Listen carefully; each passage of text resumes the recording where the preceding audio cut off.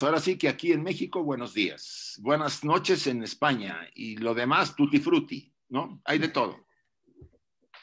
Pues nada, ahora estamos aquí este, transmitiendo desde México, aunque estamos todos en, en contacto por este medio, pues no es relativo el lugar ahora sí, no tiene ningún problema. Vamos a llevar a cabo nuestra segunda sesión del mes de, de diciembre ya mm, Nuria distribuyó el cartel nuevamente para los que quieran ver las claves. De todos modos, lo vamos a volver a ver, los vamos a presentar en, los anuncios que hacemos. Ah, aquí pueden ver los números de antropogénesis de las páginas de la copia electrónica, que por supuesto también fue enviada por Nuria y también por mí a otros lugares. ¿sí? Vamos a ver de la página 393 a la 402. Eh, Ahorita más adelante daremos más explicaciones sobre este tema. Para empezar, voy a pedir a todos que hagamos nuestra dedicación. Ya la conocemos todos, pero la podemos repetir, por favor. Oh tu sol dorado de esplendor más excelente. Ilumina nuestros corazones y llena nuestras mentes, así que nosotros, reconociendo nuestra unidad con la divinidad, que es el corazón del universo,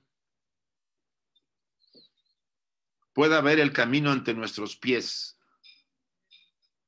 y llevarlo a esos distantes objetivos de perfección estimulado por tu propia luz radiante.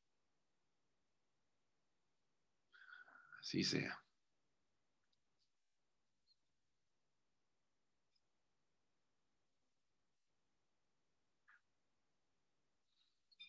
Bien, hagamos también la que presentó la señora Rada Burnier hace unos años, para que la repitamos, por favor. Hay una beatitud y un poder más allá de nosotros mismos que viene en ayuda de aquellos que están preparados para recibirlos. Volvamos a aquellas grandes fuentes de las cuales emanan incesantemente la fortaleza y la inspiración. A todos los que, olvidando el yo personal, están resueltos a aprender y compartir sin reservas.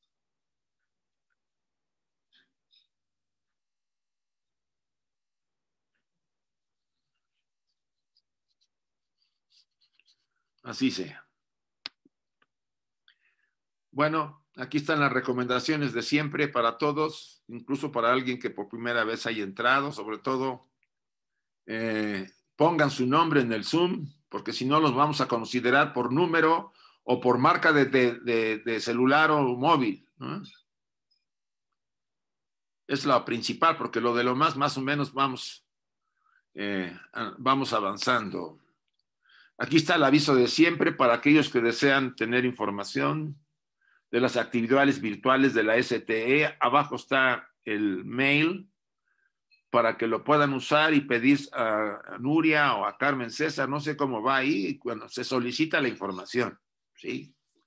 Que puede ser materiales, horarios, etcétera, etcétera, de la actividad de la sección española.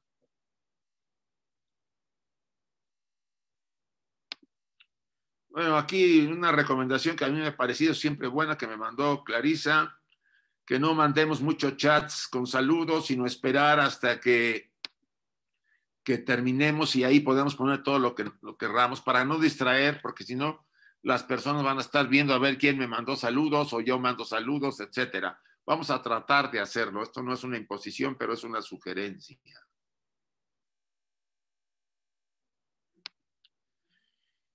Estas son las cualidades de esta semana, a ver si es cierto. Vamos a hacer un examen a todos después para ver si ya están cumplidas todas. En esta semana tenemos coherencia.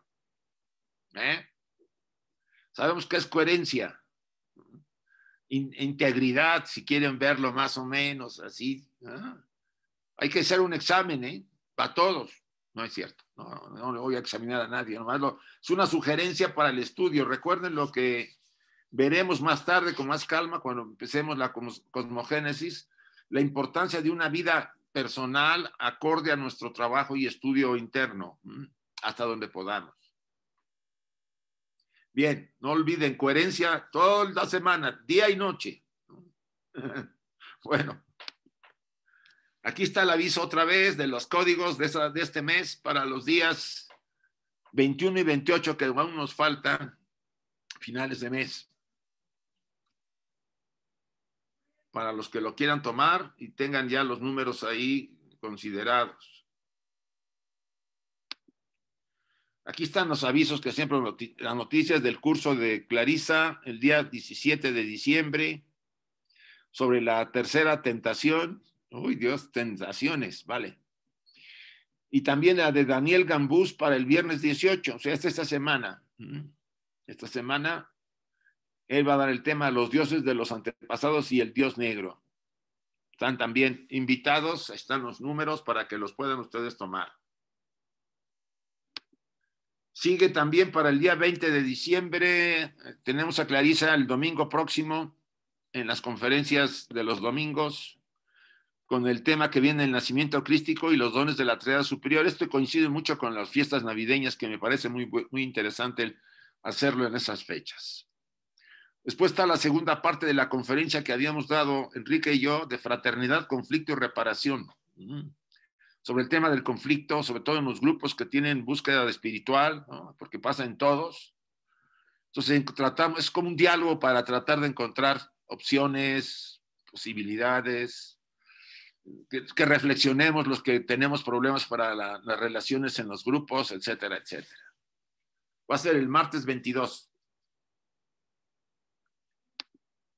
Y bien, aquí me gustaría volver a detenerme en, lo que les mandamos ya esta semana. Espero que lo tengan la mayoría, ah, porque tiene que ver con el estudio. Yo tengo acá mi, copia y como ven ustedes, cada párrafo trata de la, tiene la página, por ejemplo, en en la copia que les mandé, tiene la página donde inicia donde inicia, por ejemplo, acá, dice, el dragón antiguo es idéntico al gran, a la gran inundación, dice Mr.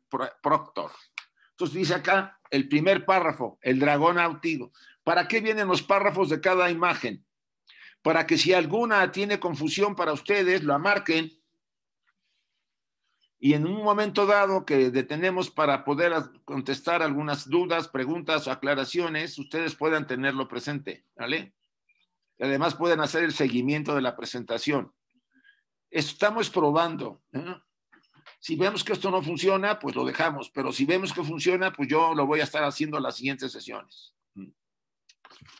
Entonces, ustedes, los que no lo hayan recibido, porque como estamos empezando a hacer esto, para la sesión del el día 21, que es el próximo lunes, eh, vamos a mandarlo en esa semana. Yo también se lo mando a Nuria para que Nuria lo, pueda distribuir y este, junto con, pues, otra vez con la, la versión de la estancia 12 electrónica, porque de ahí están las referencias. No la saqué de la Kier porque es, se me hace, bueno, ya hace muy complicado para mí estar ahí buscando en dos sesiones. Entonces prefiero mandarle a todos la versión 12 y vayan ustedes consultando, ¿vale? Si hay dudas, a rato las aclaramos. Bueno, vamos a empezar. Nos habíamos quedado más o menos sobre Draco, famosa constelación, ¿sí? O el dragón, como le llaman también. El dragón antiguo es idéntico a la gran inundación, dice Madame Blavatsky. Sabemos que en el pasado la constelación de del dragón estaba en el, en el polo, o punto culminante de la esfera celeste. En los templos de los estelares, el dragón sería la constelación superior o dominante.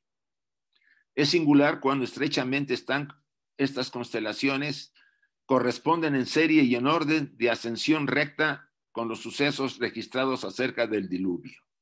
Aquí Madame Blavatsky trata y hace referencia al tema y a los mitos de los, del dragón, de Draco, símbolo de de una constelación y su referencia a, las, a los diluvios o al diluvio bíblico, o sea, el último que fue muy grande, se puede ser el Atlante.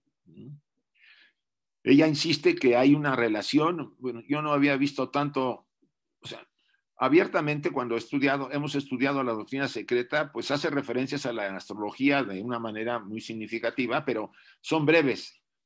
Pero aquí he encontrado en las finales de las estancias 11 y 12 de la doctrina secreta una gran cantidad de referencias a la astrología, a la relación con los sucesos que acontezan en la Tierra, los grandes sucesos, ¿sí?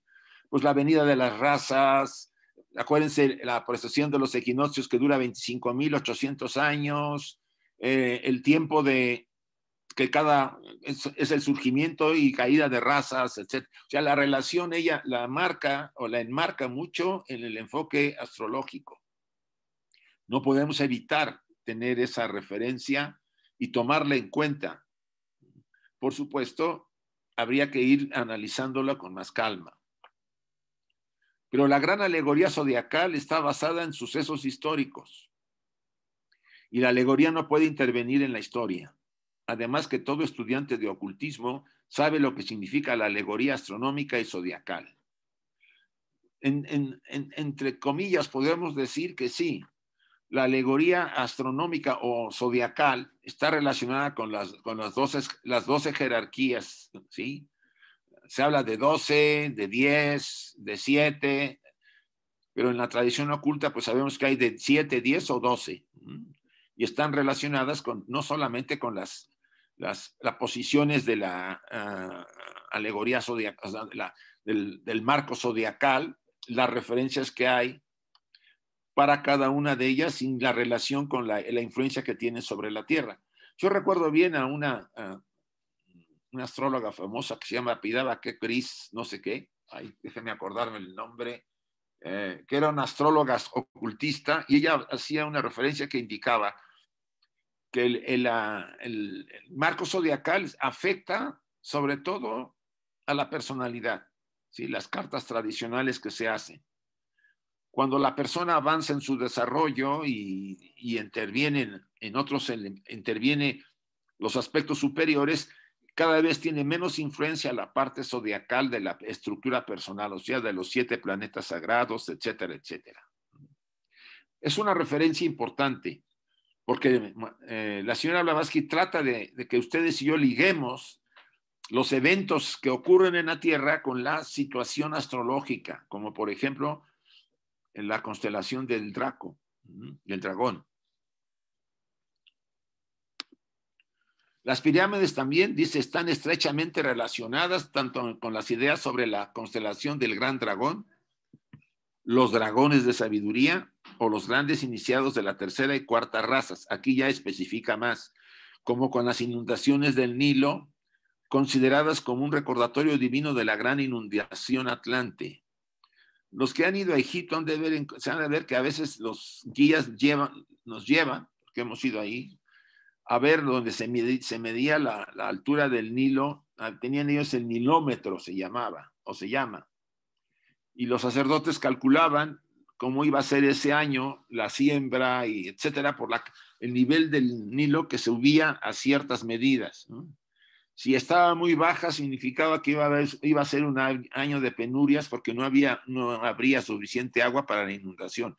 Porque recuerden que antes el Nilo, cuando llegaba la época de inundación, se desparramaba fuera del, río, de lo que era el límite del río, y llenaba todas las tierras alrededor, con todo el limo que traía de las montañas azules de, por ahí del Kilimanjaro y del río azul, del Nilo azul, porque es una mezcla, el Nilo es una mezcla de ríos que, se, que, que nacen en centro de África.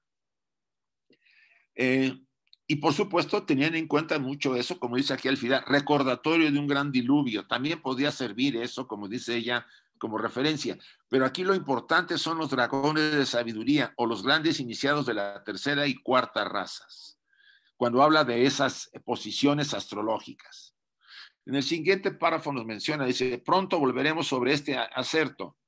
Símbolos tales como los representados por los signos del zodíaco, hechos, hecho que ofrece un asidero a los materialistas para afianzar sus teorías y opiniones que solo abarcan un solo aspecto, tienen un significado demasiado profundo y su influencia sobre nuestra humanidad es demasiado importante para que únicamente les dediquemos unas pocas palabras. Aquí, pues lo que yo les decía, parecía que no toca demasiado la astrología, pero ella la ve muy importante, sobre todo cuando puntualiza los eventos que han ocurrido en la Tierra, como son las inundaciones, la Atalante, la Lemur, ¿sí? Y otras, y los eventos que, catastróficos que han hecho desaparecer los continentes completos y han hecho emerger a otros nuevos. Todo lo relaciona con los, estos dragones, con este, esta constelación de Draco o dragón. Todos estos términos, todos estos testimonios, hay que ahora que reunirlos y que cotejarlos y que ordenarlos mejor, de manera que llamen la atención del lector sobre este tesoro de pruebas históricas. Y como nunca asistiremos demasiado sobre, insistiremos demasiado sobre el múltiple significado del extraño y sugestivo símbolo, tantas veces mencionado, del tentador del hombre, con arreglo a la luz ortodoxa de la iglesia, aquí vuelve otra vez a, traernos el tema del gran tentador que la iglesia católica así lo, lo mantiene. O sea, Luzbel o, Luz, o Satán, como quieran llamarlo. Parece más prudente agotar el asunto con todo género de pruebas en esta ocasión, aún a riesgo de recurrir a repeticiones. Ella la reconoce, que repite a veces los temas, pero importantes, que es el estilo para necesario para que nosotros lo vayamos profundizando. Entonces, eh, aquí eh, hace una breve, eh, vamos a decir, consideración para volver a, a, ver testimonios, para afianzar ciertas enseñanzas, ciertas ciertos eventos ocurridos en la, en la, en la Tierra, o sea, durante las, las fases de las diferentes razas que destruyeron los continentes y, y acabaron con la mayor parte de las razas. Y ahora eh, también el tema del famoso tentador del hombre. Por cierto, de paso, agradecerle a Clarisa que me mandó un material muy interesante sobre este tema que lo abordaremos cuando veamos el título. Bien, antes de entrar a serpientes, dragones bajo diferentes símbolos, vamos a abrirlo y si hay eh, algún comentario, podemos tratarlo. Acuérdense que seamos breves. De repente alguien agarra el micrófono y no lo quiere soltar. Si tengamos calma. Acuérdense que otros también quieren preguntar si es que quieren, ¿no? Ya pueden preguntar si hay alguna duda. Y si no hay dudas, me alegro. Isa, una preguntita. Sí. Sobre, sí, sobre lo iniciado de la cuarta raza. ¿Quién eran esos iniciados? Ah, estás hablando del párrafo tercero. Sí. O sea, la tercera, dice aquí, los dragones de la sabiduría o grandes iniciados de la tercera y cuarta raza. Esos. Sí. Bueno, aunque es un tema que hemos visto, cuando hablamos de la tercera raza lemur, eh, y vinieron las jerarquías, los Anishvata y los Manasaputras a darnos la mente. Unos encarnan en los humanos de aquella a mediados de la tercera raza y otros solamente irradian, refriegan, eh, refieren la activación de la mente. Bien.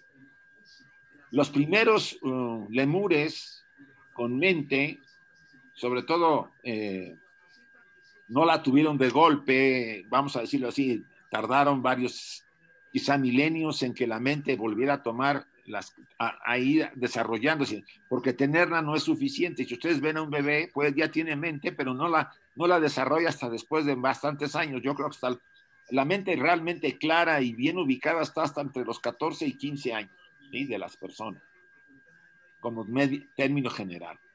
Puede haber chicos muy avanzados, mucho antes, o chicos que llegan a los 30 años y todavía la mente parece que nunca se desarrolló, sí, parecen todavía niños, ¿vale? Pero son otros excepcionales. Entonces, pero hubo un grupo de humanos, o vamos a decir semi-humanos de aquel momento que reciben a las encarnaciones en ellos, y este grupo de, de, de lemures muy avanzados, usando el poder de Kriya Shakti, eh, producen otros seres con la mente, no por medio ah, ni de huevo, ni de hermafroditismo, ni nada, por la mente. y es la base de la jerarquía de lo que aquí se comenta como los grandes iniciados de la tercera y la cuarta raza. Este, grupo, de, este grupo de seres van a conservar el conocimiento, lo van a transmitir, por supuesto, porque en aquella época no había tanto problema como lo hubo después de la mitad de la cuarta raza, y van a formar esta gran fraternidad o esta, este gran grupo de seres que conservarán a través de los milenios y de las razas el conocimiento, la sabiduría antigua. A esto se les llaman los iniciados, eh, ah. aquí que viene mencionado en el párrafo tercero como los iniciados dragones de la sabiduría o los grandes iniciados de la tercera y la cuarta. La tercera y cuarta. Gracias, Isaac. A ti. ¿Alguna otra pregunta, muchachos, chicas? Seguir, seguir. Yo, Isaac, ¿te puedo preguntar? Gustavo. Gustavo de San Juan, Gustavo Enrico. Ah, sí, Gustavo, con gusto. Sí, si esa, si el Nilo podría representar la forma del dragón y las tres pirámides, esa serpiente de, de cabeza con tres, con tres ramificaciones, esa hidra de tres cabezas, ¿puede hacer alusión a eso? Eh, las, las pirámides? Bueno, ahora ha habido muchos, este, hay muchas hipótesis sobre este tema, incluso de algunos arqueólogos, bueno, con una línea más abierta, bastante seria. Eh, yo he leído varias obras sobre el tema. Hay, eh, eh, no recuerdo ahorita el título, viene en inglés. hay un famoso arqueólogo que habla, ya recordaré el título, el nombre de él. y él habla de estas relaciones con la, constelación de Draco que está referida a estas, a estas jerarquías y que tiene que ver mucho con la influencia que ellos tuvieron, no solo en el proceso de desarrollo de los seres humanos, sino con eh, las transformaciones, porque pareciera que Draco, bueno, después lo vamos a ver en las siguientes imágenes, está muy relacionada con otras, con otras jerarquías como son los Kaviri y y vamos a explicarlo más adelante, pero puede ser que sí, eh, lo que me estás preguntando, hay una relación, ¿sí? Y ahora lo han encontrado. Una, sí. Una repregunta, porque al, al Nilo se lo, se lo, simbolizaba o se, se lo simboliza con la, con la columna vertebral, y es como si fuera esa energía kundalini, tal vez, que se quiera simbolizar para enseñar o transmitir estas enseñanzas de esta forma a los iniciados. ¿Podría ser esto cierto? es especular, podría, porque hay muchas teorías, te lo digo. El templo de Luxor de, de, de, Ramsés II, que visitamos varias veces, pues tiene cada una de las, de, los, de las hipóstilas que van pasando patio por patio, centros de, teóricamente, dicen los investigadores, centros de, los chakras del individuo porque es un ser que está acostado. O sea, hay muchas especulaciones, algunas más apoyadas por papiros o influencia, información astrológica del antiguo Egipto, otras son especulaciones de investigadores porque las hipótesis, si no están de alguna manera apoyadas con alguna, alguna referencia seria, pues es una una especulación, una opinión, pero todo podría ser. Los egipcios tenían un avanzado conocimiento, más del que normalmente nosotros le asumimos darles, y tenían un gran desarrollo, y es posible de eso, Gustavo. Y bueno, ahí me sorprendió en el simbolito eso que vos pusiste de, mm, del dragón, cómo por, por la columna del dragón le salía ese, fue, ese fuego, es como la indicación de un, de un movimiento, de un, de un, trauma, de algún dolor. Eh, puede simbolizar eso también, eh, la ubicación dentro, eh, geográficamente los templos alrededor del Nilo también podrían simbolizar cada una de, cada una de las etapas de, de las enseñanzas también. Sí, sí, sí, como te digo, todo es posible hay información que lo apoya y información que no. Pero déjame avanzar, quizá más adelante tú encuentres respuestas. Hola, Muchas gracias. Sí.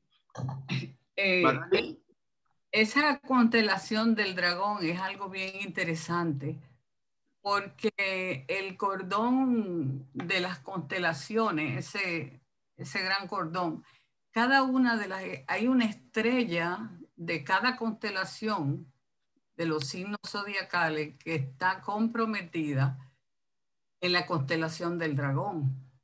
Eso nos dice a nosotros una estrella. Eso nos dice a nosotros eh, el compromiso que hay eh, del dragón en este proceso. Sí. Y, ese, eh, recordemos que a los nagas, los sabios de la antigüedad, se les llamaba dragón. Sí, sí, sí. Tenían esa sabiduría. Esa es una constelación bastante interesante. Sí, Cuando busca en, en, los estudios, dice, pero ¿quién le hace la contraparte al dragón? Entonces nos vamos y encontramos la ballena en el hemisferio sur, que se mm. encuentra en una área que se llama el océano. Ah. Y es bien interesante porque es, eh, siempre tenemos que tener los polos.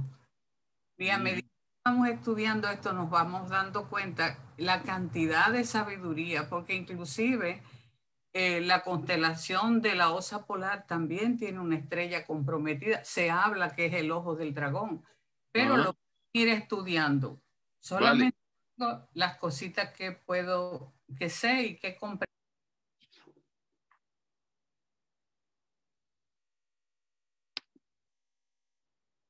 ya no pudimos escucharte, Magali. Ah, no, que, que solamente digo estas cositas que la he comprendido a través del tiempo. Gracias.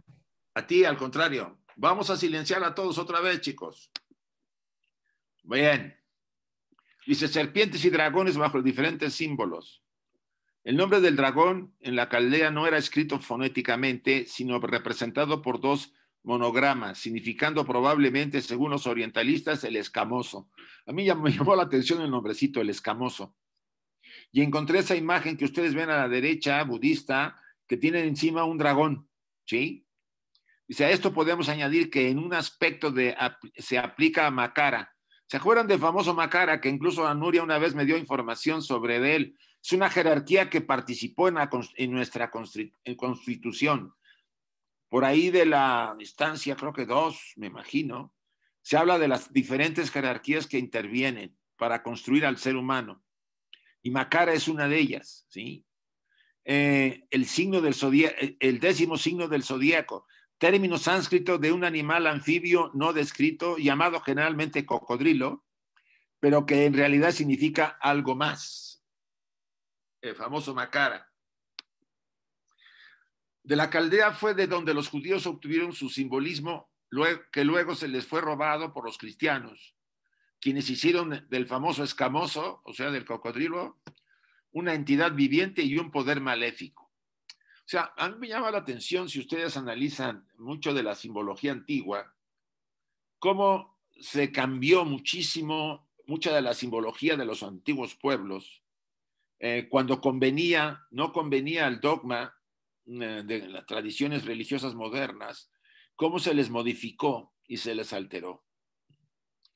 Si hacemos una representa un, un, recordatorio cuando estudiamos las dos creaciones, la primaria y la secundaria, ¿se acuerdan que vienen los Puranas y en los Upanishads?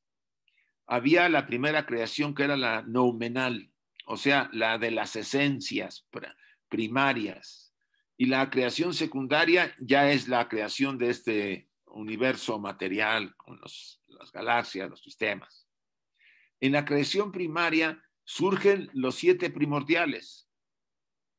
Entre uno de ellos es Luzbel. Obvio que él nace de la creación ah, anterior a la creación posterior de la que habla ya el Génesis. El Génesis habla de la creación secundaria, nunca de la primaria. ¿no?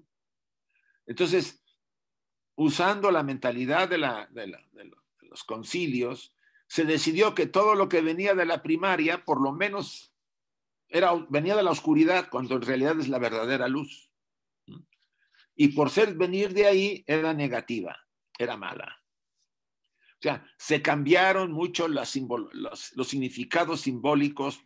Ya tenemos muy bien, y aquí Clarisa podrá hacer una parafrasis de lo que ella presentó apenas, de Satanás y Luzbel, ¿no? De cómo eh, el famoso ángel tan eh, bello, tan eh, dice que no había nada bajo el cielo de, aquel, de aquella jerarquía primera como él.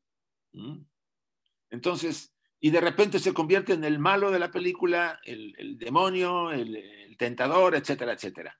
Creo que es un tema que ha, estado, hemos estado tocando bastante y que gira mucho sobre todo la, creación y mucho de... a mucha gente le cuesta trabajo reacomodar el tema porque lo recibió por educación por muchísimos años. Entonces vamos a volver a abordarlo de otra manera, pero sí. En el Museo Británico pueden verse un ejemplar de dragones alados y con escamas. En esta representación de los, de los sucesos de la caída, según la misma autoridad, hay también dos figuras sentadas a cada lado de un árbol y alargando sus manos hacia la manzana, mientras que detrás del árbol se halla la serpiente, dragón. Esotéricamente, y vean el significado esotérico, las dos figuras son dos caldeos dispuestos para la iniciación, simbolizando la serpiente al iniciador. Por eso tiene que ver los iniciadores antiguos con las serpientes y los dragones. Mientras que los, eh, los dioses celosos maldicen al árbol con el clero profano. Ah, dice, mientras que los dioses celosos que maldicen al árbol son el clero profano exotérico.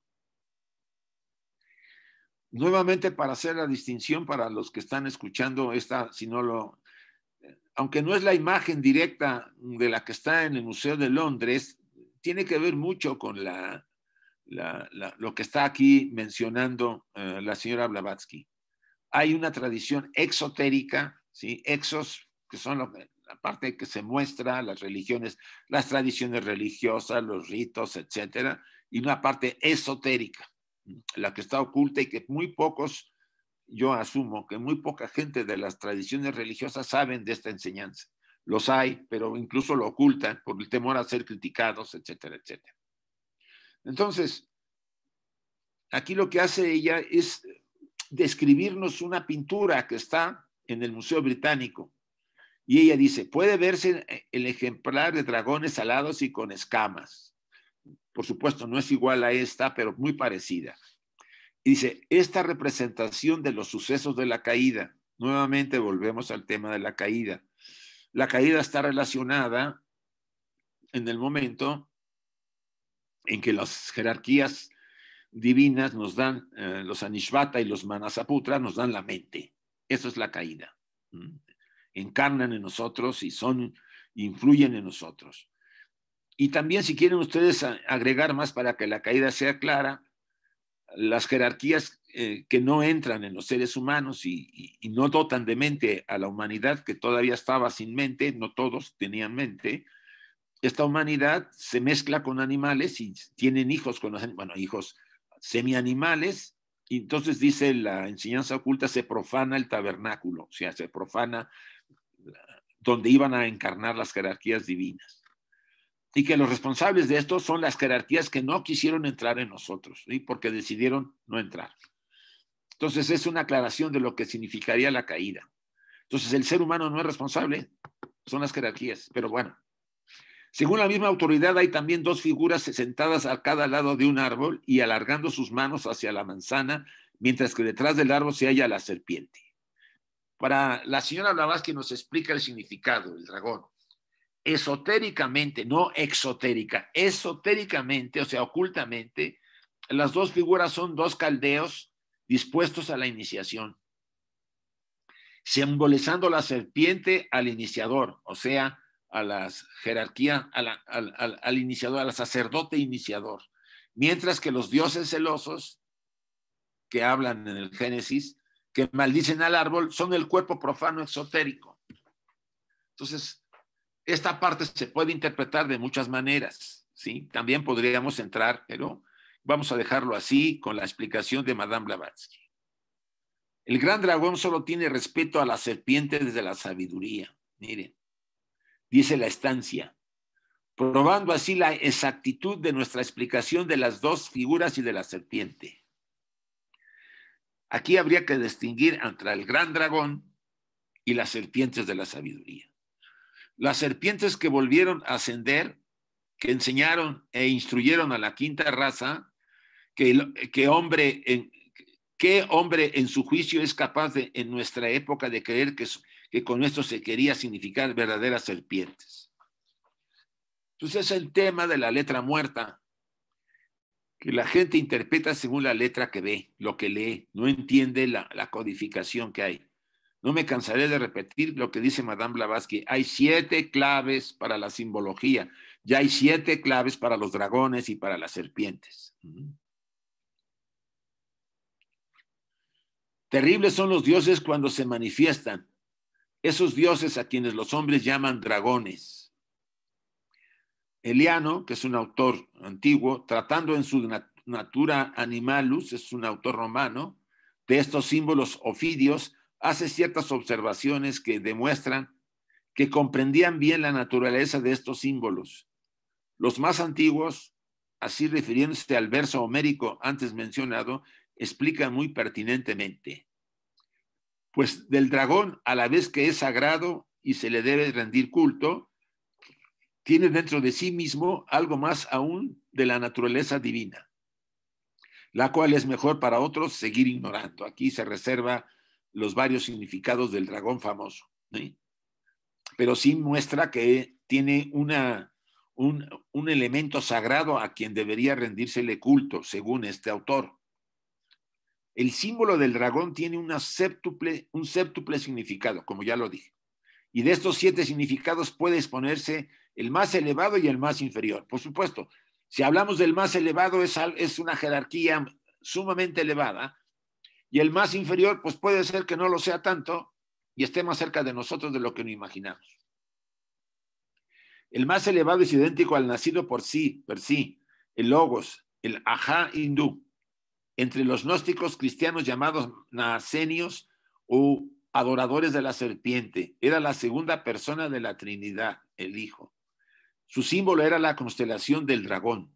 ¿eh? Vean, muy interesante este pasaje que la señora Blavatsky nos transmite. Dice, lo repito, el más elevado es idéntico al nacido por sí, el logos, el ajá hindú. El nacido por sí eh, probablemente se está refiriendo al primer logos, el, inmanifestado. Entre los gnósticos cristianos llamados nacenos, que eran los adoradores de las serpientes, era la segunda persona de la Trinidad, el segundo logos, el Hijo. Su símbolo era la constelación del dragón. Sus siete estrellas son las siete estrellas que están en la mano del Alfa y Omega y en el Apocalipsis. En su significado más terrestre, el término de dragón fue aplicado a los hombres sabios. O sea, la forma más materializada del símbolo del dragón eran los hombres sabios que acompañaron pues, por a la segunda, a la tercera, a la cuarta y a la quinta raza en su desarrollo. Ahorita volveremos a abrir. Aquí hace una pregunta. ¿Se originó la alegoría del dragón y de su supuesto conquistador en el cielo con San Juan en su Apocalipsis? Terminantemente contestamos que no. El dragón de San Juan es Neptuno, el símbolo de la magia atlante. Miren qué interesante. O sea, el dragón puede tener muchos, muchos significados según se aplica y muchos, eh, muchos grados. Y él habla del famoso dragón que se habla en el, Apocalipsis, que no es el dragón al que se refieren de los los iniciados, sino a Neptuno, el símbolo de la magia atlante. A fin de poder demostrar esta negación, se ruega al lector que examine el símbolo de la serpiente o del dragón bajo sus diversos aspectos. Aquí les voy a pedir a todos, pues pueden meterse a Google y poner, pues, eh, qué significa el dragón en la antigüedad, y que eh, para tratar de investigar un poco por cada, cuenta de cada uno si es posible, ¿no? Aquí ya viene varia información, pero me gustaría que lo vieran. De paso, les quiero decir que la, el, libro del Apocalipsis, porque aquí lo menciona Madame Blavatsky, no ha sido posible tras su, eh, interpretación porque dice que pertenece a una tradición muy antigua y oculta. Y lo poco que hacen algunos, sobre todo de, de corte religioso, es simplemente inventar cosas y no entender la simbología antigua.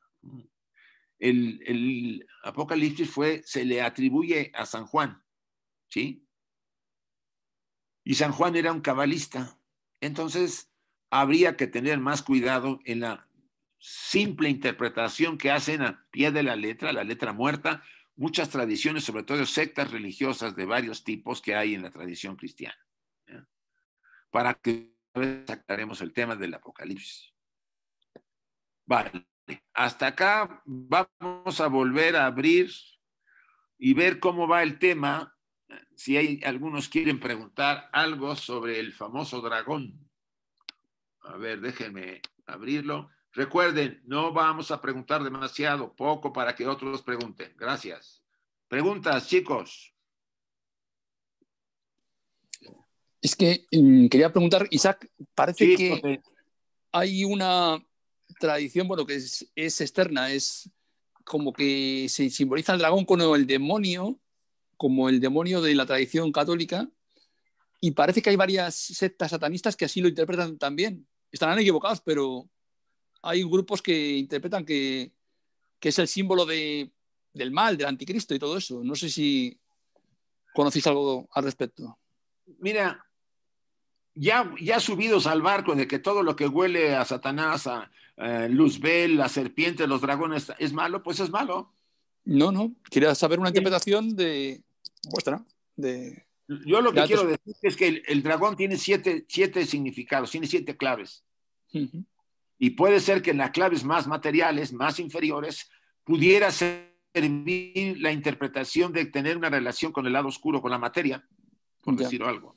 Sí. Pero más, para mí es un prejuicio que hay muy fuerte, porque si tú ves en la tradición china y la japonesa, la oriental, en general, los dragones son seres, seres eh, adorados y divinos, ¿no? Sobre todo los chinos lo tienen muy especial y los japoneses. Entonces me hace sorprendente que aquí lo querramos hacer todo negativo. ¿Por qué? Porque no viene de la tradición religiosa que se practica en Occidente. Mm. Todo lo que huela a paganismo, todo, todo está mal. Ya. Ustedes pónganse en el lugar hace 2600 años. Pónganse en el lugar de Platón, que no era uno que se chupara el dedo, ni de Sócrates, ni de grandes filósofos y psicólogos que asistían a los misterios de Leusis en Grecia. Sí, sí. Donde al final se aparecía la diosa. ¿Sí? Se les aparecía a los Mistai. ¿Ustedes creen que se prestarían ellos con ese desarrollo que vemos en sus obras a un engaño? No. ¿A una manipulación, a un manoseo? No, no. ellos no deben hemos filtrado muchísimo, muchísimo, para poder justificar una serie de enseñanzas que no tienen ninguna base, es mi opinión, ¿vale? Sí, sí, ¿Puedo hacer una pregunta? Ah. Sí, sí, nomás termino con José Antonio, por favor. Dale. Yo no digo que sea real esa figura, pero es que ahora hay una, un grupo que se llama los Illuminati, que adoran una deidad oscura que le llaman Moloch, que me parece también aparece en la... No, entonces... caso con eso, José Antonio, no, no le hagas caso, eso no tiene ninguna base. Vale, vale. A ver, ¿quién quiere? José. vos has mencionado lo de que se le aparece la diosa. En la tradición cristiana o cristiana antigua, el, símbolo de San Jorge, vos lo vemos que está eh, eh, el, hombre o la parte masculina luchando con, el dragón que sale de la cueva y la diosa, la parte femenina, agarrado con una soga del cuello del dragón, pero la soga no tirante, sino pandita, que hace una, como que, la, parte femenina domina al dragón. El tema es la parte masculina, o sea que eso también lo ha ocultado la iglesia. Sí, sí. Mira, hay demasiados velos para tratar de que veamos, no solamente los, los, velos naturales que había para la enseñanza oculta, sino los que se han creado por las tradiciones religiosas para que no veas tú ciertas verdades que ellos han desvirtuado. A ver, a mí me gustaría aquí a Carmen. Carmen, ¿qué, qué opinas sobre la cuestión del dragón? Os estaba escuchando atentamente. Sí. Y mm, el, para mi forma de ver, el dragón es una figura, vamos a ver, que no es real, por empezar, sino que es un animal inventado y que eh, mm, puede volar, tiene fuego dentro, puede estar en el agua, puede caminar en la tierra eh, y es eh, un animal que representa el dominio sobre la materia. Ahora, el, el tema es el siguiente, hay que verlo cada, en cada uno en su contexto no podemos quitar el dragón y analizar el dragón. O analizamos, por ejemplo, el dragón de esta imagen que tú tienes, que es un San Jorge, eh, que está, pero inclusive no lo está matando. Con su espada está eh, simplemente motivando algunos puntos de esa materia. Entonces podemos ver el espíritu, la parte espiritual, que está despertando a la materia.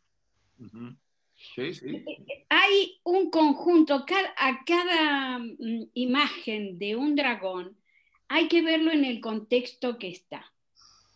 No se puede ignorar el entorno, porque entonces este dragón, la dama, que está hipotéticamente en la cueva, ¿eh? que representa esa materia primordial, se tiene que liberar de que de estos aspectos inferiores.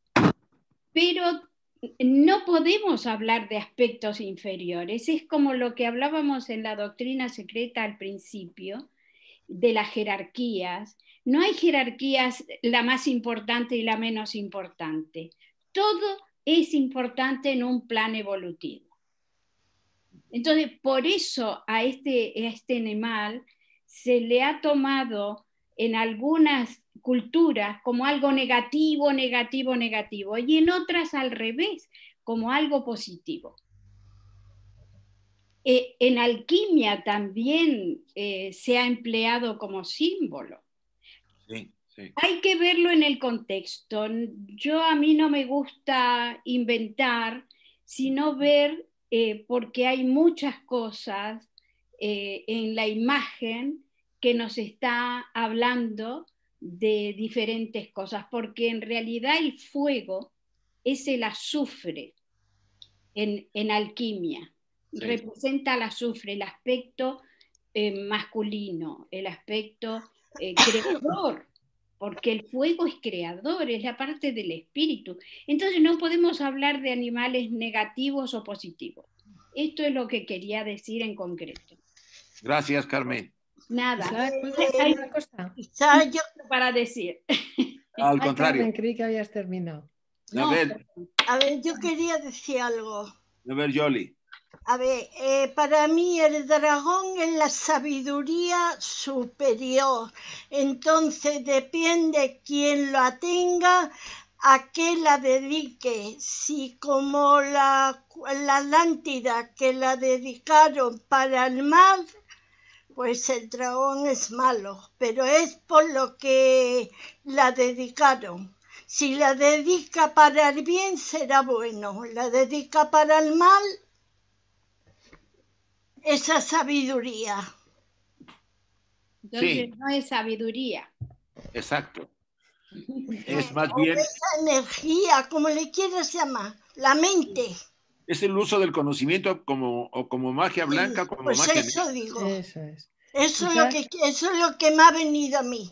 Muy bien. ¿Puedo decir una cosa, Isaac? Sí, sí, sí, este, Nuria, por favor. Mira, Eh, yo, fíjate, viendo imágenes de alquimia, como decía Carmen y todo, y sin saber mucho de alquimia, de alquimia pero eh, por ejemplo, hay dragones que se les pone alaos y dragones que se les pone sin, sin, alas.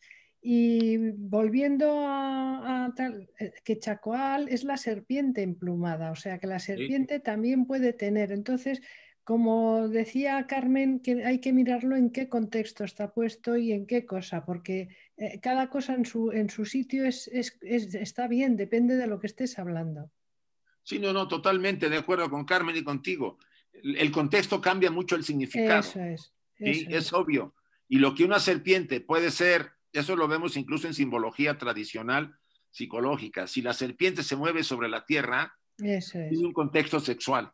Pero si está subida sobre un árbol, tiene un contexto iniciático. O sea, cambia totalmente cambia, cambia, por el significado. Sí, sí, sí, totalmente de acuerdo.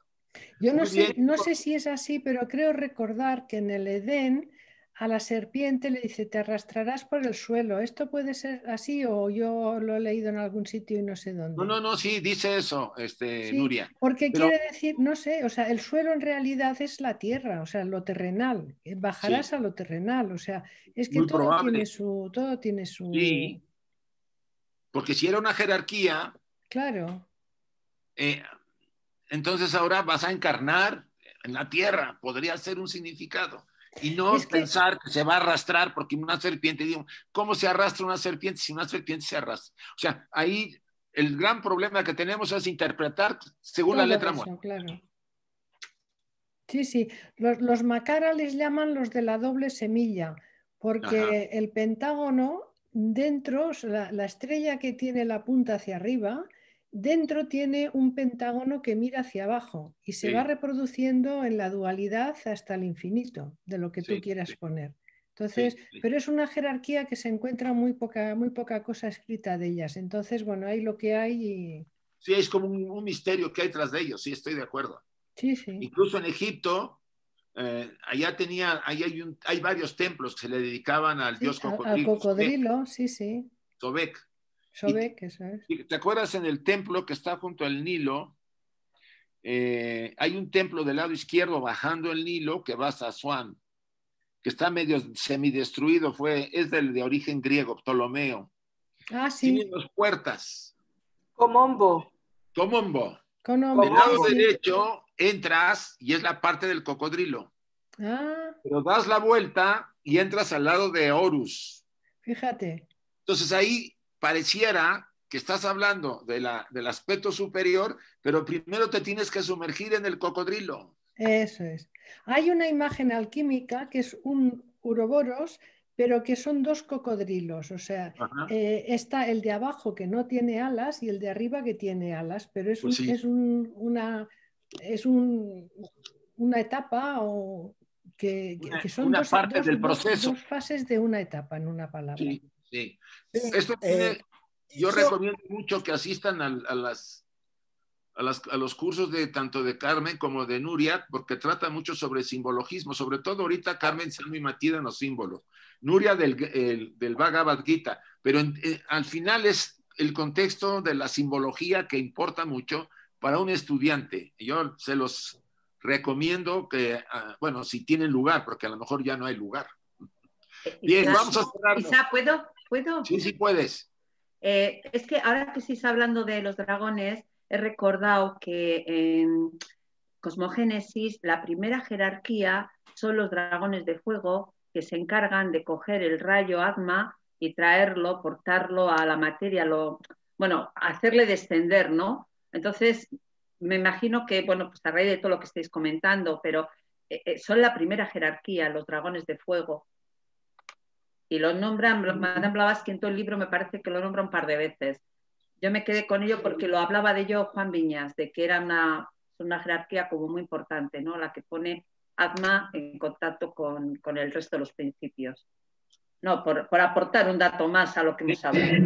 Pues muy bien, muy bien, este. ¿Puedo, decir algo? Sí, puedes. Mira, ahí en la, en, hay un video del ojo de Horus de una, de una serie de videos donde pasan eso del templo de los, de los cocodrilos, y era la iniciación, y era la iniciación de un profano que cuando iba hacia las profundidades se sumergía a unas piletas de agua y tenía que, que traspasarla, y él veía en el piso o en las paredes las sombras de cocodrilos que se reflejaban. Entonces se asustaba y si, si pasaba, pasaba la iniciación por el agua, pero si no, salía a la superficie y se encontraba con los cocodrilos, pero los cocodrilos no tenían interés en, ellos porque estaban muy bien alimentados. O sea, era una, una imagen, era para, para hacer pasar esa prueba. Así que es muy interesante lo, del cocodrilo. Sí, en ese, templo de Comombo es muy, bueno, tiene, queda poco porque lo está semi destruido, pero está muy bien para visitarlo el que pueda ir a, ahorita o cuando pueda a Egipto. Bien, chicos, cierro otra vez y volvemos nuevamente al final.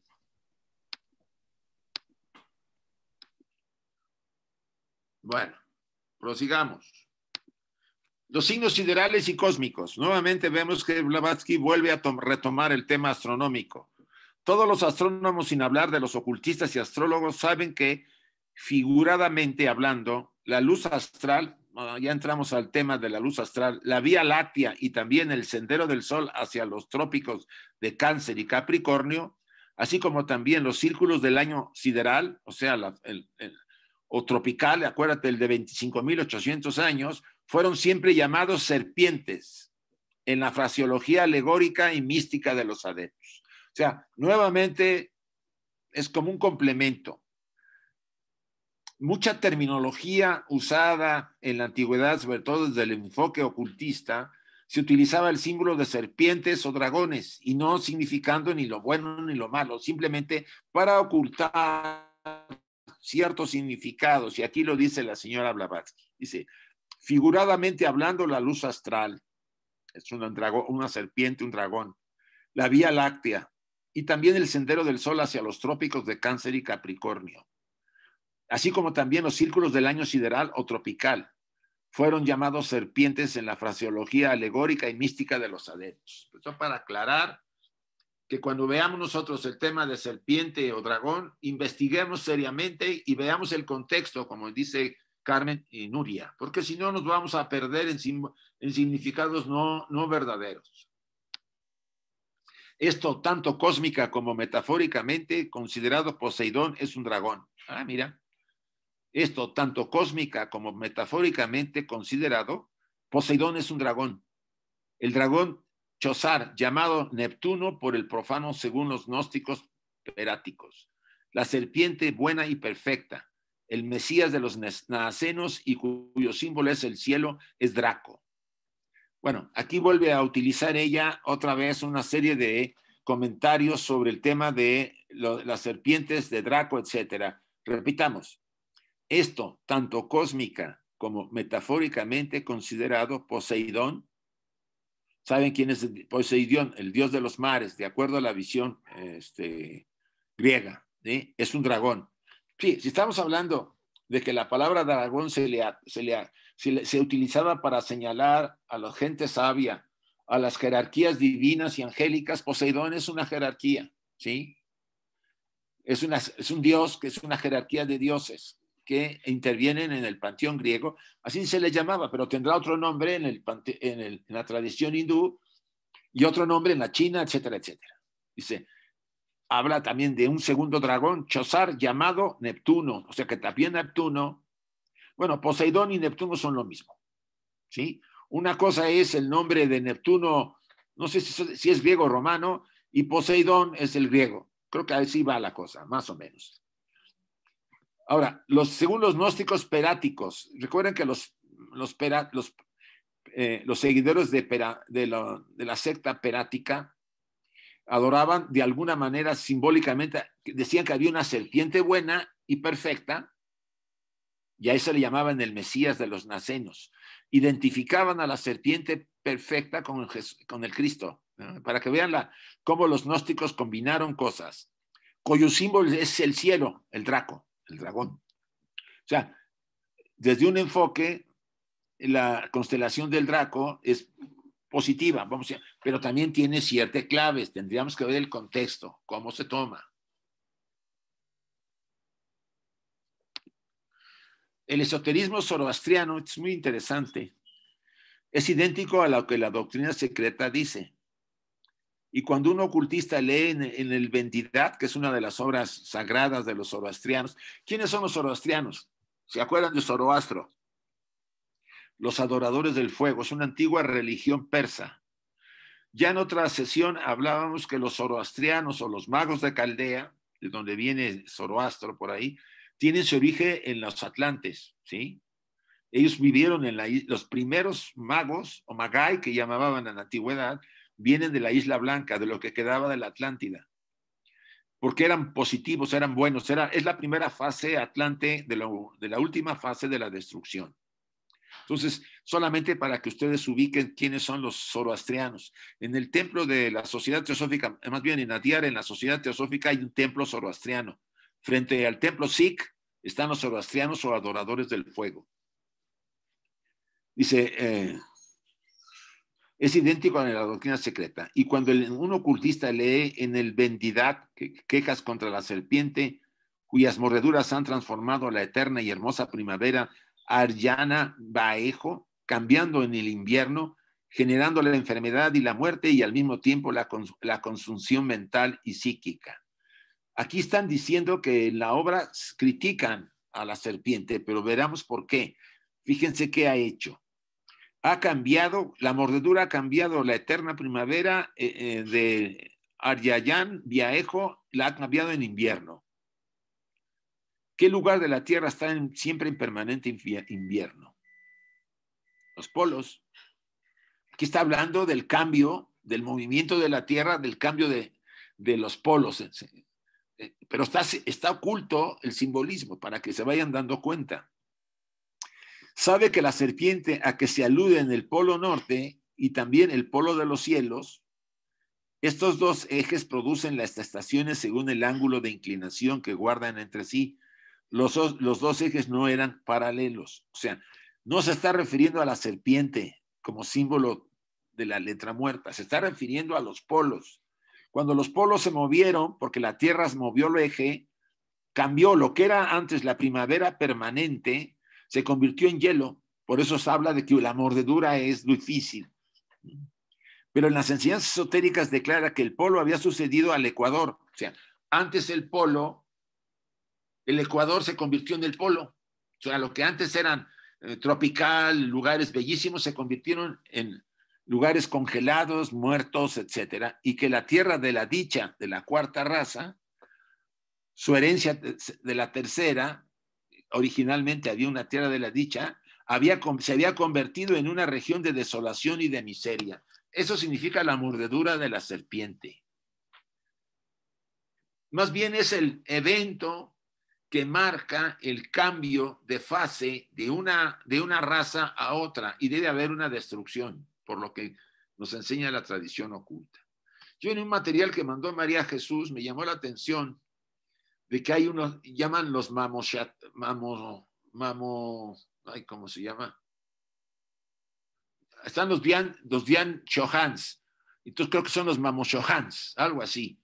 Los Dian Shohans es para iniciar un ciclo y los Mamoshohans es para destruir ¿eh? el final. O sea, como que hay dos tipos de jerarquías encargadas de abrir un ciclo, por ejemplo, a la raza Atlante la abre una jerarquía recuerden que hay unos manús que la abren, el manú principal, después el manú semilla, y se desarrolla todo el ciclo atlante en siete subrazas.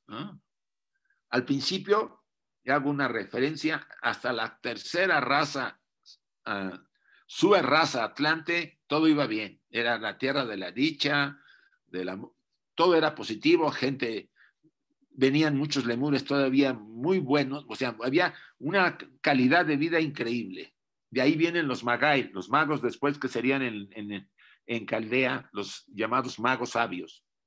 Pero a partir de la cuarta subraza se empieza a inclinar al lado oscuro y al uso del conocimiento que traían los, los, los primeros atlantes y los lemures, para el manejo y control de la raza. Eso lo vimos en la sesión anterior.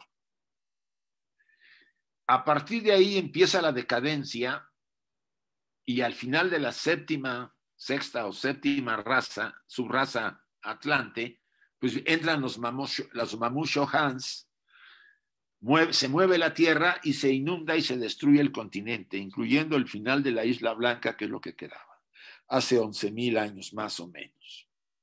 Entonces, esto es para que ustedes se ubiquen. Dice, abajo, o sea, la desolación. Déjenme seguir. Meru, la mansión de los dioses, como se ha explicado antes, era colocado en el polo norte, mientras que Patala, la región inferior, se suponía que era encontraba hacia el sur. Ya habíamos hablado de que para la tradición oculta el polo norte es lo positivo y el sur es lo negativo. En el norte asciendes a los dioses y en el sur eh, bajas a los lugares más desagradables, los infiernos, simbólicamente.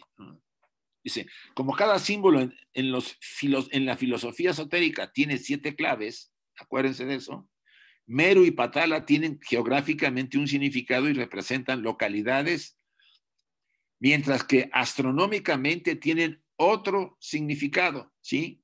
Y representan los dos polos cuyo último significado ha inducido a muchos a veces se les haya interpretado en el sectarismo exotérico como la montaña y el abismo, o el cielo y el infierno.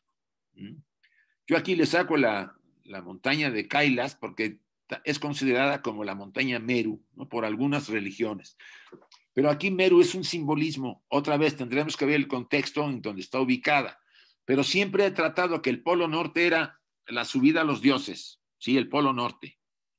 Y el polo sur era pues lo, degradante, lo, lo, lo, lo que nos degradaba, donde bajábamos a las profundidades. La vasta hondonada que había en el polo sur para siempre oculta a nuestra vista que rodeaba el polo sur fue llamada por los primeros astrónomos el abismo. Al paso que observando hacia el polo norte, que siempre parecía sobre el horizonte cierto circuito en el cielo, lo llamaron la montaña. Entonces, al polo norte le llaman la montaña y al polo sur el abismo. Pero esto es metafórico, acuérdense, es una simbología. Tiene que ver mucho con, con el magnetismo que emanan estos polos como el Meru es la mansión elevada de los dioses, se decía esto, se decía estos de que ascendían y descendían periódicamente por el polo norte, con lo cual significaba y astronómicamente los dioses, ay, me pasé. Zodiacales al paso del norte, original de la tierra, al paso del sur del cielo. O sea, se supone que los dioses se asciende hacia ellos por el polo norte, por la montaña sagrada.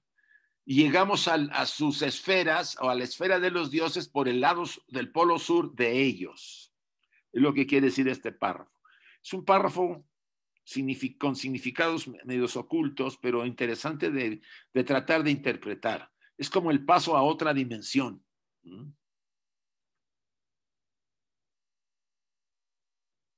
Cuando se dice que los dioses abandonan la tierra, significa no solo los dioses, los protectores de instructores, sino también los dioses menores, los regentes de los signos del zodiaco.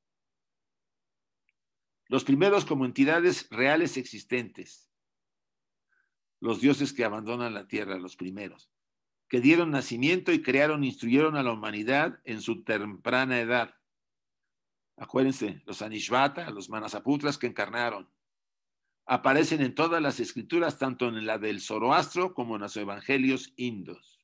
O sea, los dioses divinos que vinieron a la tierra, primero encarnaron y nos dieron la mente y después volvieron para gobernarnos en la tierra. Y hay una relación, una razón básica para que nos gobiernen los dioses al principio, en la primavera de la raza humana.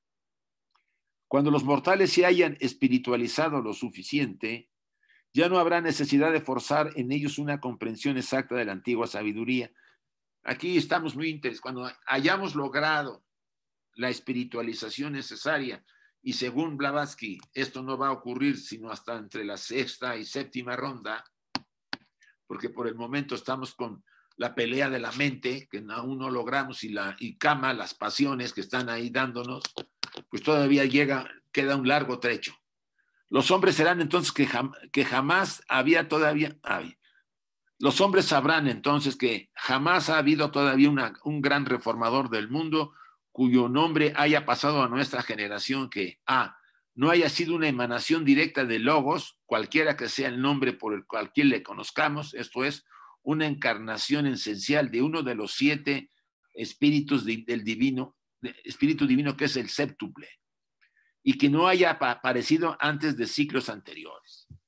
Esto podemos interpretarlo, que los siete primordiales, después de su transformación al tercer nivel mental, manas, la mente, vinieron a la, a la evolución terrestre, obliga, en parte obligados por karma y en parte porque ellos deseaban ayudar a la humanidad naciente y encarna. No solamente hubo jerarquías que nos dieron las otras partes de los principios del cuerpo, sino que ellos fueron los principales y la básica. Sin mente no hay ego personal, ni ego divino, no hay nada, ¿sí? Sin la mente no somos nadie, porque nomás tendríamos el espíritu por su lado y el traje material o lo que había de materia por el otro y sin entendimiento que eso era lo que querían los, aparentemente son los Elohims al principio en el Génesis, que está mal, es un proceso, un, un comentario muy interesante. O sea, había una jerarquía que no nos quería que tuviéramos la mente. Ahí sí hemos hablado de ella, que era el demiurgo, etcétera, etcétera. Bueno, eso lo dejamos ya porque lo hemos repasado. Entonces, aquí ella vuelve a subrayar, repito el pasaje, no habrán los hombres sabrán entonces que jamás ha habido todavía un gran reformador del mundo. O sea, quiere decir que han habido reformadores que ya han venido y han vuelto otra vez, es lo que quiere decir. Desde la tercera Lemur, cuarta Atlante y ahora en la época de la quinta raza también han habido reformadores de todo tipo. Ah, que no haya sido una emanación directa de Logos, o sea, de los siete. El logos es el tercer logos. Acuérdense que hablamos, ¿eh? donde está Mahat, la mente. De ahí, vienen algunas de esas encarnaciones a ayudarnos, a despertarnos después de largos periodos. Y ahí podemos incluir a Krishna, al Buda, al Cristo y al tutti, tutti frutti que puede haber después de ellos, porque ellos son los más elevados. Después de ellos, pues vienen abajo, pues Platón, Sankaracharya, eh, son capa, bueno, hay un montón de gente que ha venido, cuando se, dice, cuando se oscurece el conocimiento, ellos participan e intervienen. Intervienen para poder recuperar o rescatar la antigua enseñanza y los hombres vuelvan otra vez a, la luz, entre comillas. Miren, está dando, eh, falta un cuarto para la una, me gustaría, aquí, allá de ser las que, cuarto para las doce, una cosa así, ¿no? No, cuarto para, estoy hecho bolas con el horario. A las seis, a las siete, a cuarto para las ocho. Sí. Vale. Vamos a abrirlo para que haya preguntas y respuestas o comentarios. Y, llegamos hasta acá, aunque tenía yo más material, pero eso lo veremos en la siguiente sesión. Déjenme abrirlo y también comentar lo del material que les enviamos de los párrafos, a ver qué me dicen, si les parece que les sirva o no les sirve, porque pues si no les sirve no hay mucho que darle vueltas a este tema. A ver, muchachos, ya está abierto el micrófono. Hola, buenas tardes. Buenas tardes, Isabel. Hola, sí, eh, me parece bien que recibir las, eh, lo que han mandado, porque así estudiamos y estamos, ah, si tenemos alguna pregunta, algo que no entendemos. Bueno, que se me adelantaron a algunas preguntas, así que salimos de dudas, me parece muy bien. Así que estoy atenta a que sigas mandando lo mismo. Bueno. Gracias, Isaac. Porque acá se puede hacer el seguimiento de lo que yo voy tratando, ¿sí? Esto es exactamente a lo que dice la doctrina. Yo no voy a hacer ningún cambio personal. Claro que no. No, Para está que bien. No haya alteración, no se altere nada. Lo que vamos a dar es comentarios, pero ya están, y yo digo siempre, esta es mi opinión, y ya con eso aclaro que hay muchas opiniones. Eh, exacto, y pero es una buena ayuda para mí porque yo también estoy recién empezando, así que tengo que buscar y leer un poco más, así que me ayuda mucho. Gracias, Isaac. De, paso, Isabel, le comento que el año que entra vamos a dar un cursillo. No va a ser los miércoles, los lunes porque no hay tiempo ya, pero vamos a hacer un, un, cursillo súper, súper introductorio, porque ya hay dos cursos que se dan, el de Carlos y no sé si hay otro de Arjuna, pero esto es para aquellos que están entrando por primera vez, los, las siete columnas de la teosofía, muy ligero, probablemente un martes o dos martes o tres martes, vamos a ver. Eso se lo voy a proponer a Nuria para que más o menos veamos si ella puede, porque ella también tiene sus cosas. Y, y ayudar a la gente, porque me han preguntado que la terminología, que no sé qué, bueno, ya lo vemos, no está nada planeado todavía, eso lo vamos a ver. Voy a estar atenta, voy a estar viendo, voy a estar atenta. Gracias, Isaac. Sí, muy bien. ¿Algún otro comentario? Hola. Sí. Esta, esta parte de la, de la enseñanza que, que te has expresado puede estar muy bien relacionada con la, con la obra La flauta mágica. Hay una parte al, medio al final eh, donde Zoroastro se junta con otras jerarquías y dice y presenta que va a ser iniciado y le dice, yo retiro todo este poder eh, que tengo sobre la, tierra para que esta persona eh, con su voluntad eh, trascienda a, todo este, esta, con todas estas pruebas, trascienda y adquiera la, sabiduría. Es muy interesante, puede ser así. Sí, mira, recuerda que Mozart fue un miembro de la masonería. Probablemente una masonería filosófica más fuerte, porque no todas tienen el mismo estudio, por lo que a mí Carmen me ha dicho. Y entonces muy probable que él estaba muy versado en el, conocimiento oculto, y, o por lo menos tenía ideas más concretas y entendía más los significados simbólicos. Yo recomiendo mucho que vean la ópera, porque es una ópera, la de la flauta mágica. La música es increíble, pero la ópera tiene una serie de símbolos que valdría la pena que los analizaran los interesados. Esa alemana que está con la, con la, con la, con las pirámides y dos obeliscos, esa es la que más. Sí. por eso yo les sugiero a los que se interesen que la escuchen. Seguro que en YouTube está, la van a encontrar, porque pues es una gran obra de Mozart. Gracias, Gustavo.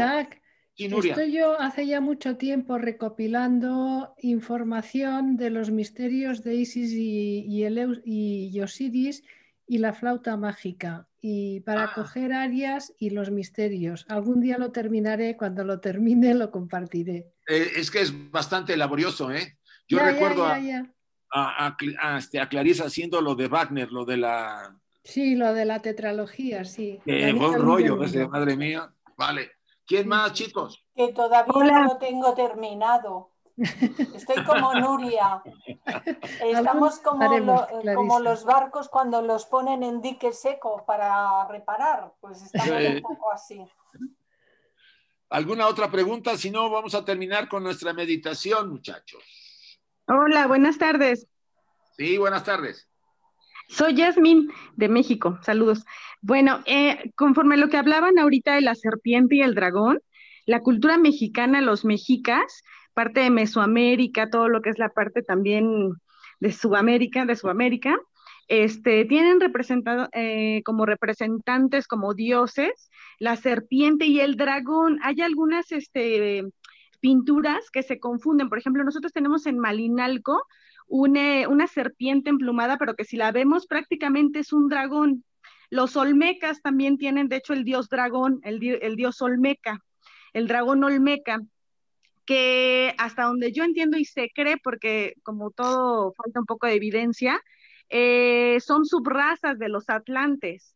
Entonces, bueno, esto es algo que nos podría dar como un eh, punto muy importante de alguna evidencia de que verdaderamente ya sea simbólicamente o de manera verídica, física o metafísica, pues esta parte de las deidades de dragón, de, de serpiente, eran muy importante para nosotros y hablaban un poquito de esta parte del si es bueno o malo.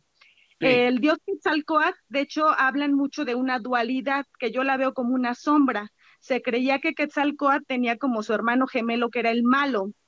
Entonces yo entiendo que lo podríamos tomar como esta dualidad, que era exactamente igual, pero de hecho el hermano gemelo de Quetzalcoatl, que era el malo, lo veían como el dragón y a Quetzalcoatl como la serpiente emplumada. Entonces mucha parte de nuestra historia pues tiene mucha de estas bases que acabamos de comentar. Sí, sí, te puedo decir que todas las tradiciones, como dice la señora Blavatsky, todas tienen al, símbolo del dragón y la serpiente como elementos importantes, ¿sí? Eh, yo, por ejemplo, les puedo narrar algo. Yo cuando estuve, hice un cursito de, budismo en, en, ya por donde está el, Dalai Lama, hace como siete años, yo creo, no me acuerdo bien. Y después de una serie de actividades, tuve un sueño muy interesante que siempre me ha llamado la atención. Yo iba caminando, iba por un campo y vi que venía atrás de mí una especie de lluvia como de serpientes volando. Y que esas serpientes, una muy grande, se me pescaba del hombro derecho y me mordía. Y yo volteaba a verla y me decía, oí una voz, no te muevas, tiene siete, siete colmillos, cuidado, no te me muevas. Y yo la veía que en la parte de arriba tenía un símbolo en dorado y no lo entendí muy bien. Y ahí me quedé en el sueño así. Yo que le tengo un poco de tirre a las serpientes, dije, y ahora me mordió una. Eh, por supuesto, después hablé con un monje y le dije, no, no, no te puedo decir más, pero no es negativo tu sueño.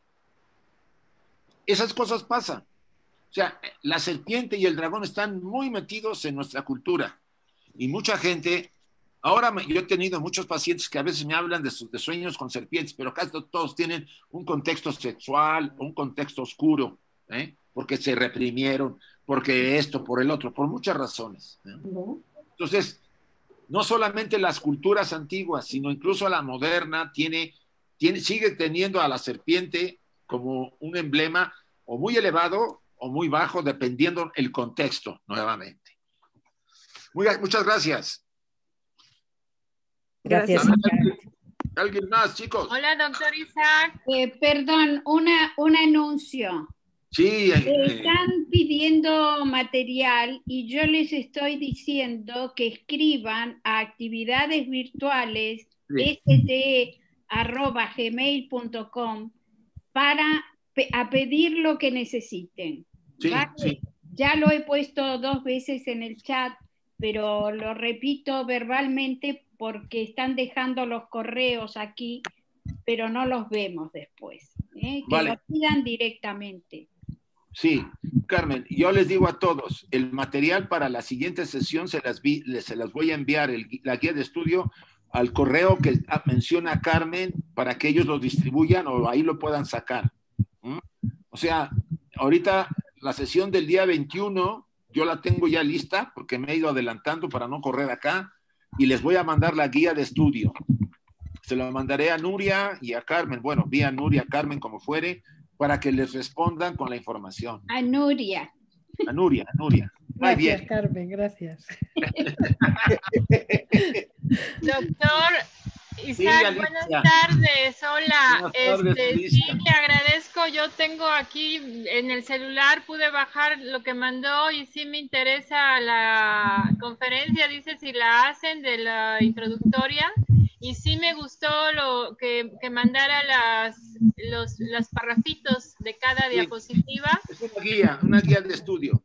Sí, y, pero bueno, eh, veo que no sé si sea complicado para usted seguirlo haciendo y que nos dieran nada más los, los de, qué página a qué página. Ahí ya como considere, pero sí me gustó y, les agradezco pues todo, ¿no? La, la, explicación porque he estado aprendiendo bastante con todos ustedes. Gracias, Alicia. Bien, ¿quién más, chicos? Gracias. Vamos a... Eh, Nuria, quito la, la presentación cuando tú me digas. Pues espera un momentito.